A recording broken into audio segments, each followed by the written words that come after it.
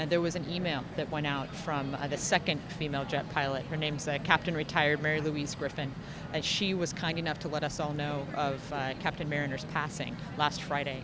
Uh, the flyover idea came shortly after that from a group of incredible retired uh, women aviators who had had quite a few contacts, made some calls, and, and I think by Monday the, the planning was well in the works.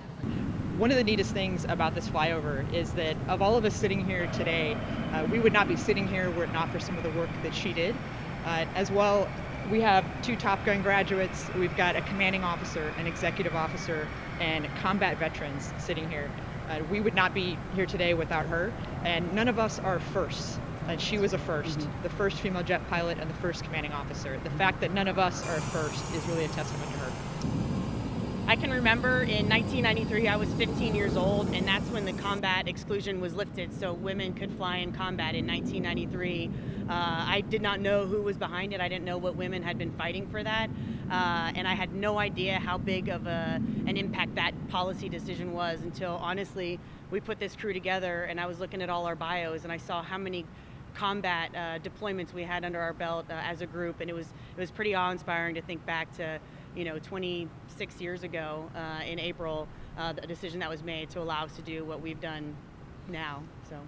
Flying today's weapon systems is a continuous process of study. Um, it takes approximately three years to get through flight school, and the hard work doesn't stop there. But through hard work and perseverance, you can really achieve any dream, and that's a door that Captain Mariner opened for us. So never think because you're a girl you can't do something.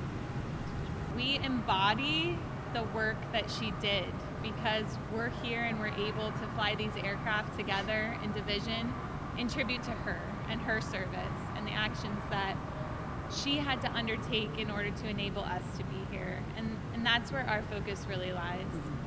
Uh, we obviously want to make it look good for uh, for Captain Mariner, and in her honor, it's sort of her last flight and uh, the last testament uh, that we can honor. We, we have to honor her, you know, as, as all eight combat aviators that are going to be in this flyover um, it truly is kind of the last measure of, of what, it, what her legacy has left for us.